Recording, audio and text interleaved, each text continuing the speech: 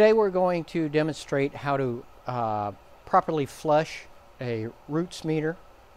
Uh, oftentimes roots meters get debris inside the measuring chamber and uh, it will cause the impellers to stop motion.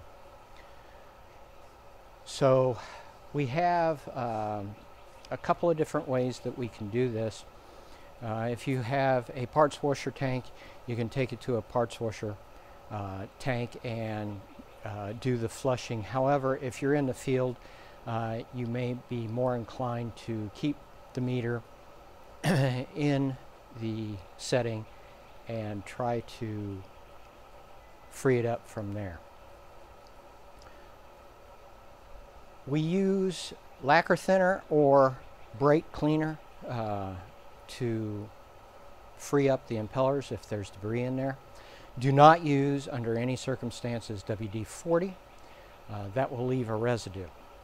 Uh, the one thing uh, that we want to make sure is because of the tolerances of the impellers that you don't use anything that may coat those impellers and cause uh, problems where you would have more debris sticking. Uh, both these substances evaporate readily and will do a great job of cleaning. so the first thing that you do, make sure your meter is isolated. Make sure your uh, upstream valve is closed, your downstream valve is closed so that you're not have any pressure. Make sure you've bled off any kind of pressure that is on the meter. Secondly, if you take this out of the setting, make sure that you keep your meter level from end to end. Always keep it level. The reason for this is there is oil in the front and back of the meter and that oil will leak into the measuring chamber and it will cause your impellers not to turn. So the first thing that we want to do is remove the roots oil from the mag end of the meter. we need to use an Allen wrench. Go ahead and loosen that plug. You've seen I've turned this meter on its side. What we're going to do is take this over to the edge of the table and with a coffee can, we're just going to drain that oil. After draining the oil, go ahead, reinstall that plug.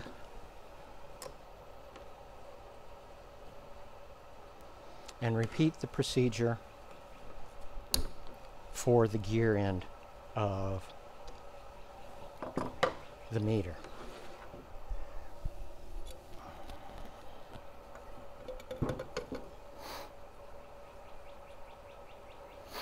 Now, after the removal of all of the oil and your reinstallation of the plug, I want to bring to your attention an option that you may have to help free up the impellers. And that is by removing this end plug.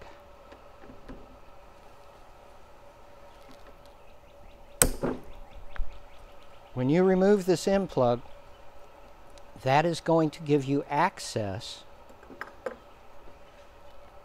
to one of the bolts that holds your gear on your impeller. You can use a 5 16 inch Allen wrench to work the impellers back and forth. Now make sure that you are not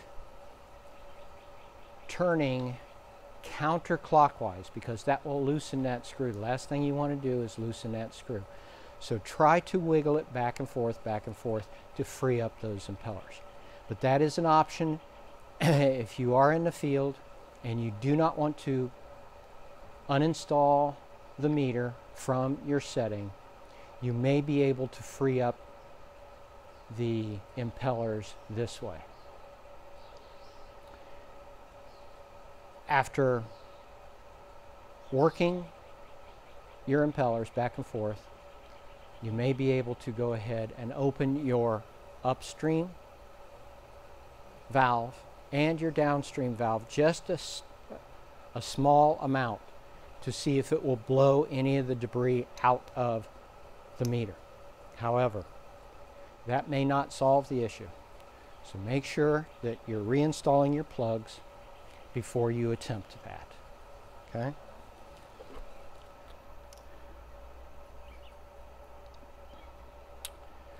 So next, we're going to get our empty coffee can and we're going to set our meter on top of our coffee can. Now, on your larger meters, of course, you'll want something a little bit more substantial underneath the meter to capture any liquid that passes through.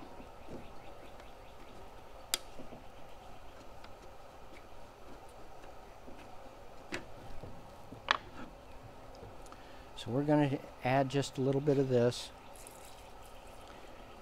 and try to work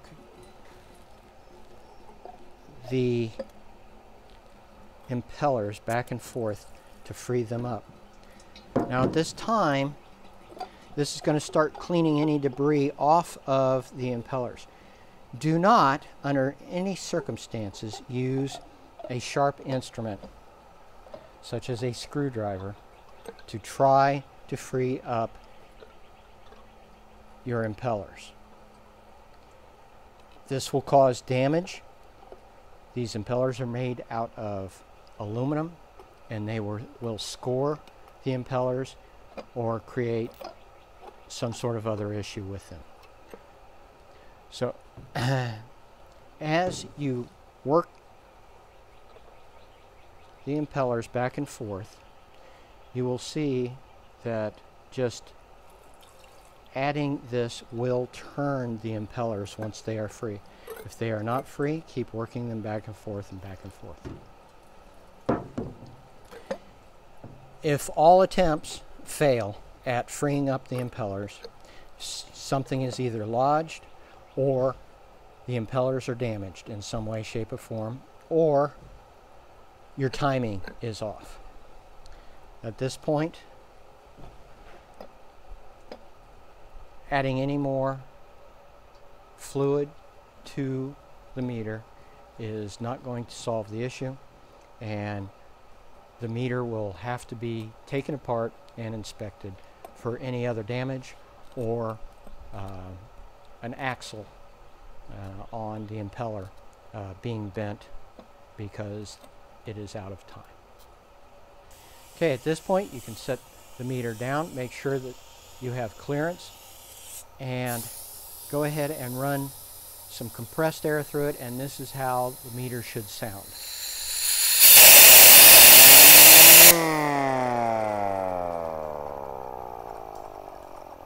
You can tell there's no clunking or hesitation in the impellers. Now at this point, reinstall the meter into the setting and depending on the orientation you will have sight glasses for use when we refill the oil chambers. In the hor horizontal position, you will see a sight glass here. If it is in the vertical position, you will see a sight glass here. Remove the oil plugs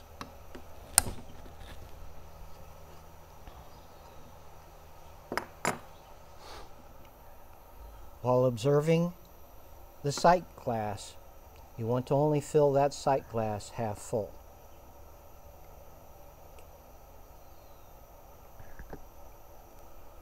Repeat the process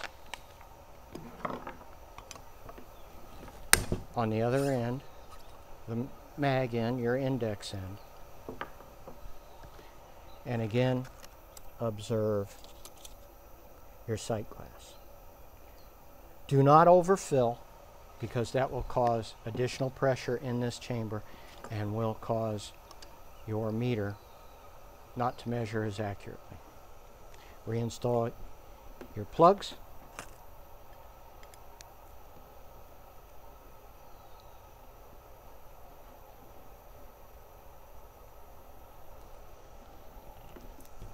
Make sure they are secure. Open your inlet valve. Open your outlet valve. Both of them very slowly. Initially, energize your meter.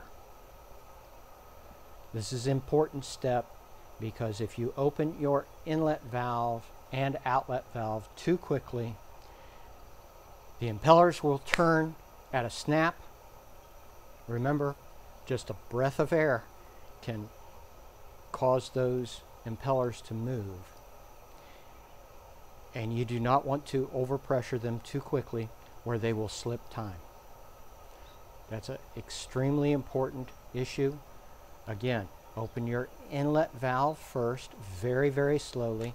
That will equalize pressure in the meter.